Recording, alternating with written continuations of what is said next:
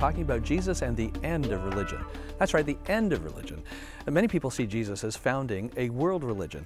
But when we read him in context, we see that he was bringing about a revolutionary way of thinking and being. He was calling for the end of religion as a system of salvation that mediates between us and God. He was claiming to be the final sacrifice in a world where animal sacrifices were indigenous to most spiritual faiths as the way that you approached the divine, got forgiveness for sins, and made it right with your God. And he was saying, No, I am God coming to you. I'm not offering a new system for you to get to God. This is a fresh spirituality that calls for the end of all religious systems for salvation, invites us into intimate relationship with the divine. Excuse me, I'm thirsty. Funny, I haven't quenched my thirst. Why?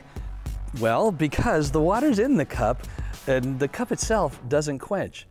But this would be a picture that Jesus himself uses to describe what religion is doing to us. Religion is like the wine skin rather than the wine. And Jesus says you need new wine skins. You need new and fresh ways for new wine. Now, we still need the structure, we still need the cup. But what really refreshes us is not licking the cup, it's what's inside. Religion is an exercise in licking the cup. But Jesus calls us into an intimate spirituality with Himself, and He says, I am the living water for your thirsty soul.